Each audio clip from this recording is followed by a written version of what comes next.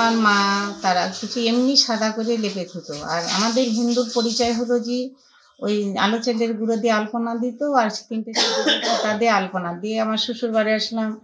দেখতাম যে এ দিত তখন আমি আবার এটা আমার দিকে শখ থেকেই আমার ইয়ে করলাম যে, লাল মাটি, সাদা মাটি দিয়ে আমি তখন কি করলাম, উপরে আলপনা দিতে লাগলাম।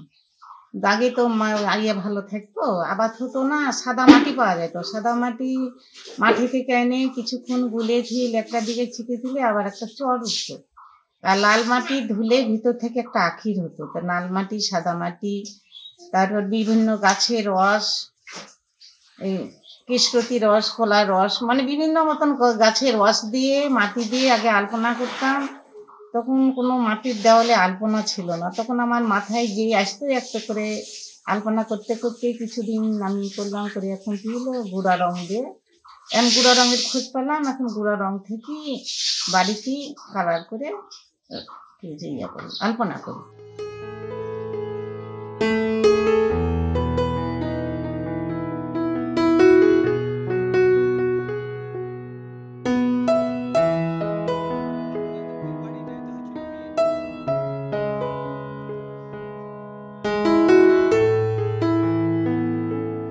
গ্রামের সবাই দেখতে আসে, সবাই বলে যে আপনি আলপনা করেন ভালো লাগে। বউবেটি বলে যে আমরাও করব। গ্রামের মেয়েরা বউবেটিরা দিয়ে এটা হলো যে আলপনা বাড়ি। আলপনা বাড়ি হয়ে বা আলপনা সাংবাদিকরা আসে দূর দূরান্ত থেকে দেখতে আসে, তাই করেছি এই বাড়ির নাম হচ্ছে যে আলপনা বাড়ি থেকে আলপনা গ্রাম করেছে। বিদেশ থেকেও আসে, দেশের আসে। মানে সারাদিন আমার ব্যস্ত যে সকাল থেকে সারাদিন মানুষের চাপ। তা ওরা বলি যে কাকিমা, আপনি যে এত মানুষ আসেন তা আপনি কি বিরক্ত হন না? তা আমি মনে করি যে আমি অনেক দিন থেকে যখন আমার বয়স বারো তেরো বছর বয়স থেকে আমার আলপনা, এটা আমি কি করি এটা শখের বসতেই আমার করা। তাই যখন দেশ বিদেশ ছড়ে গেল, দেশ বিদেশ থেকে মানুষ আসে থেকে আমি বিরক্ত হই না যে আমার, এটা আমি কষ্ট করে কর্ম করেছি বলে এতদিন আমি ফল পাচ্ছি যে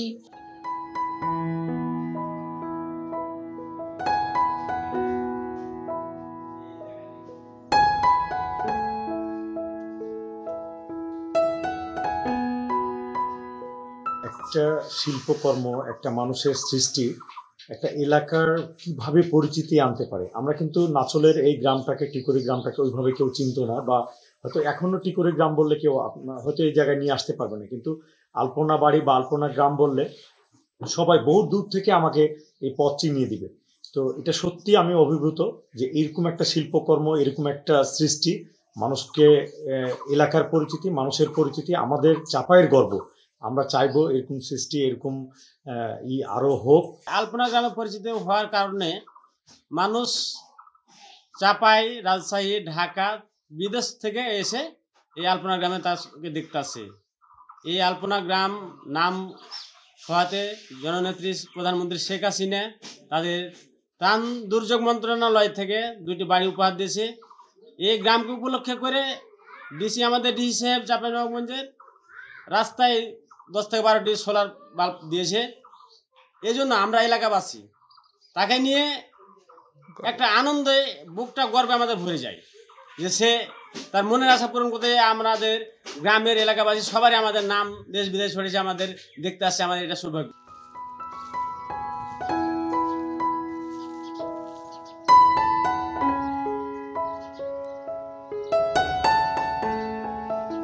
মানুষে কোনো কোনো অনুষ্ঠানে কাপড় কানি নাই। আমি কি করি? সেই টাকা দিয়ে আমি আলপনা করি।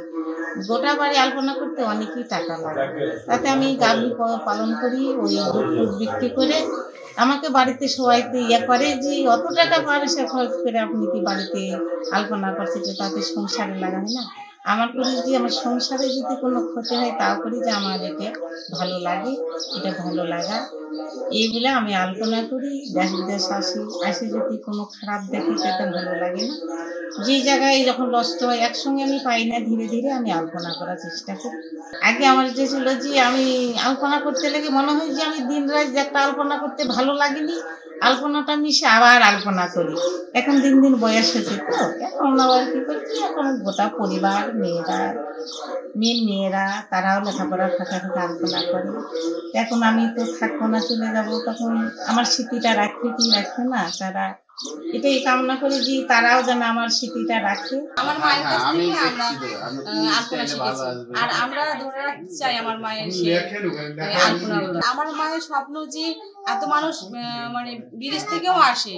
দূর দূরান্ত থেকে লোক আসে। কিন্তু আমার মায়ের একটা যে আশা যে সে যদি একটু প্রধানমন্ত্রীর দর্শন পেত তাহলে সে মনে করতো কি সে মানে এত কষ্ট করে তার সার্থক হয়েছে বিদেশ থেকে আসে। দেশে প্রধানমন্ত্রী আছে তার সঙ্গে যদি আমি কোনো দেখা পেতাম তো আমার মনটা ধন্য হতো কি আমি মনে করতাম যে আমার সৌভাগ্য। আমি যে এই পঁয়ত্রিশ চল্লিশ বছর থেকে আমি এই আলপনা করি তারা আমার ধন্য হতো তার সঙ্গে যদি একটু দেখা পেতাম।